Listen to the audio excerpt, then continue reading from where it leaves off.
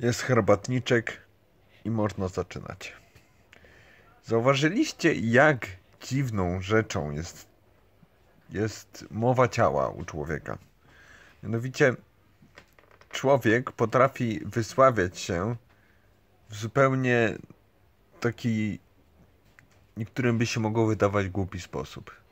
Dlatego, że jak nazwiemy, na przykład, nie wiem, nie wiem bez słów.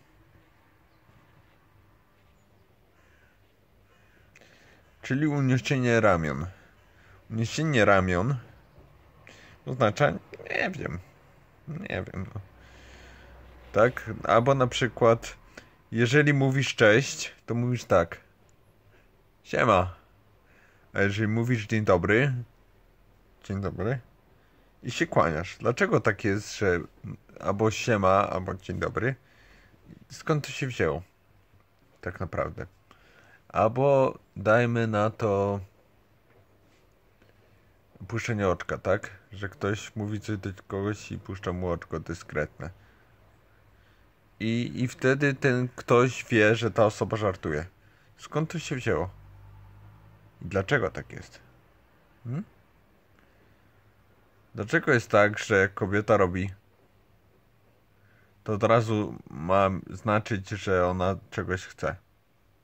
Tylko dlatego, że przygryza dolną wargę. Czy to musi cokolwiek oznaczać? I skąd właściwie wzięła się mowa niewerbalna? Jak to właściwie jest, że człowiek tak naprawdę y, ponad 80% tego, co człowiek mówi, to jest mowa ciała.